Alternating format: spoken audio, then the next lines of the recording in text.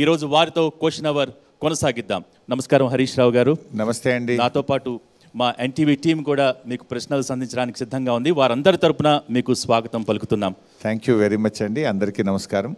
ముందుగా పదేళ్ళకు పైగా ఉద్యమ ప్రస్థానం కొనసాగింది. అదొక రకమైన హాట్ సీట్ ఆ తర్వాత తెలంగాణ వచ్చాక తొమ్మిదిన్నరేళ్ళకు పైగా పాలనా ప్రస్థానం అధికారం అనే హాట్ సీట్ ఇప్పుడు ప్రతిపక్షం అనే హాట్ సీట్ ఎలా ఉంది?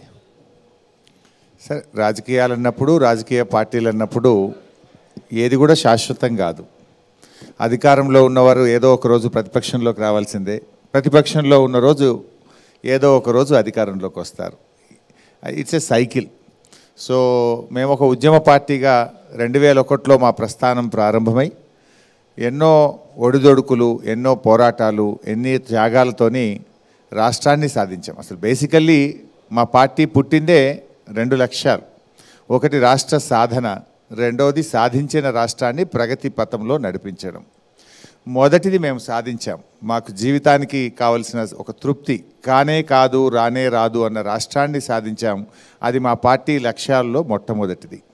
రెండవ లక్ష్యం ఈ రాష్ట్రాన్ని అద్భుతంగా ప్రగతి పథంలో నడిపించడం. సరే ప్రజల ఆకాంక్షలు ఏమున్నా మేము ఈరోజు చూసినట్టయితే పదేళ్ళు మా తొమ్మిదిన్నరేళ్ళ పాలనలో సంక్షేమ పథకాల్లో దేశానికి ఆదర్శంగా తెలంగాణ నిలిపాం ఆసరా పెన్షన్లు కళ్యాణ లక్ష్మి ఆరోగ్యశ్రీ సన్న బియ్యం ఆరు కిలోల బియ్యం. రైతు సంక్షేమంలో నంబర్ వన్ దేశంలోనే నంబర్ వన్. మొట్టమొదట రైతులకు నేరుగా నగదు బదిలీ చేసే పథకం రైతు బంధు రైతు బీమా ఇరవై నాలుగు గంటల ఉచిత విద్యుత్తు ఇవన్నీ కూడా ఇచ్చి దేశంలో ఆదర్శంగా నిలిచాం విద్యుత్తులో నంబర్ వన్. కోతలు లేని ఇరవై నాలుగు గంటల నాణ్యమైన కరెంటును అన్ని రంగాలకు పారిశ్రామిక వ్యవసాయ గృహ అవసరాలన్నిటికీ నాణ్యమైన కరెంటును అందించి దేశంలో తెలంగాణను విద్యుత్ రంగంలో అద్భుతంగా ముందుకు నడిపాం. త్రాగునీటిలో నంబర్ వన్. పార్లమెంట్లో స్వయంగా కేంద్ర ప్రభుత్వమే చెప్పింది ఫ్లోరైడ్ రహిత రాష్ట్రం తెలంగాణ రాష్ట్రం. ప్రతి ఇంటికి స్వచ్ఛమైన శుద్ధి చేసిన త్రాగునీరును నల్లాల ద్వారా సరఫరా చేసే రాష్ట్రంగా తెలంగాణను తీర్చిదిద్దాం. నీటిపారుదలో నంబర్ వన్. పెండింగ్ ప్రాజెక్టులు పూర్తి చేయడం కొత్త ప్రాజెక్టులు ప్రారంభించడం మిషన్ కాకతీయ ద్వారా చెరువుల పునరుద్ధరణ చేయడం చెక్ డ్యాములు నిర్మించి మేము సాగునీటి రంగంలో కూడా ఒక చరిత్ర సృష్టించాం.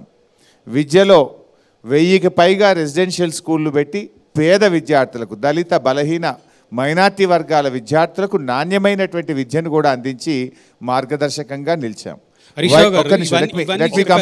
రమేష్ గారు ఒక్క నిమిషం. వైద్యంలో నంబర్ వన్ ఆ రోజు రాష్ట్రంలో కేవలం ఐదే ప్రభుత్వ మెడికల్ కాలేజీలు ఉంటే ఈరోజు మేము ముప్పై ఒక్క కొత్త మెడికల్ కాలేజీలు పెట్టి ప్రతి జిల్లాకు ప్రభుత్వ మెడికల్ కాలేజీని పెట్టి వైద్యాన్ని వైద్య విద్యను అందుబాటులోకి తెచ్చి ప్రజలకు మెరుగైనటువంటి వైద్యాన్ని అందించాం. పారిశ్రామిక అభివృద్ధి. మేము టీఎస్ ఐపాస్ తీసుకొచ్చి ఇవాళ దేశం మొత్తం అనేక రాష్ట్రాలు మన టీఎస్ ఐపాస్ను వాళ్ళు మోడల్గా తీసుకొని వారి వారి రాష్ట్రాల్లో అమలు చేశారు. ఇరవై ఐదు వేల మూడు వందల నలభై మూడు పరిశ్రమలు పద్దెనిమిదిన్నర లక్షల ఉద్యోగాలు రెండు పాయింట్ ఎనిమిది ఐదు లక్షల కోట్ల పెట్టుబడిని పారిశ్రామిక రంగంలో సాధించాం. ఐటీలో బెంగళూరుతో పోటీ పడుతూ రెండు లక్షల రెండు పాయింట్ నాలుగు లక్షల కోట్లను ఇలా ఐటీ ఉత్పత్తులను ఎగుమతి చేయడం కానీ అదేవిధంగా టీ హబ్ ఏర్పాటు ద్వారా ఐటీలో కూడా అత్యధిక ఉద్యోగాల కల్పన మా మా హయాంలో జరిగాయి. పాలనా సంస్కరణలు కొత్త జిల్లాలు రెవెన్యూ డివిజన్లు కొత్త మున్సిపాలిటీలు కొత్త మండలాలు పెట్టి పరిపాలనను ప్రజలకు దగ్గరగా తీసుకుపోయాం. హైదరాబాద్ అభివృద్ధి మీరే చూశారు. త్రాగునీటి సమస్య లేకుండా విద్యుత్ సమస్య లేకుండా ట్రాఫిక్ జామ్స్ లేకుండా ఫ్లైఓవర్లు కానీ జంక్షన్ ఇంప్రూవ్మెంట్స్ కానీ చక్కటి లా అండ్ ఆర్డర్ శాంతి భద్రతలను ఇస్తూ హైదరాబాద్లో పెద్ద ఎత్తున పెట్టుబడులు హైదరాబాద్ అభివృద్ధికి మా ప్రభుత్వం ఎలా పనిచేసిందో కూడా జంట నగరాల ప్రజలు మీరందరూ కూడా చూశారు. జీడిపి రాష్ట్ర జీడిపి మేము వచ్చినాడు నాలుగు లక్షల పదహారు వేల కోట్లుంటే ఆ జిఎస్డిపిని పదమూడు లక్షల పదిహేడు వేల కోట్లకు పెంచాం. తలసరి ఆదాయం మేము వచ్చినాడు ఒక లక్ష ఇరవై నాలుగు వేల కోట్లుంటే మూడు లక్షల పన్నెండు వేల కోట్లకు తలసరి ఆదాయం పెంచి దేశములోనే ప్రథమ ద్వితీయ స్థానంలో తెలంగాణను నిలబెట్టాం ఎస్ ఇవన్నీ. ఇవన్నీ సంక్షేమ పథకాలు చేసిన రాష్ట్ర అభివృద్ధికి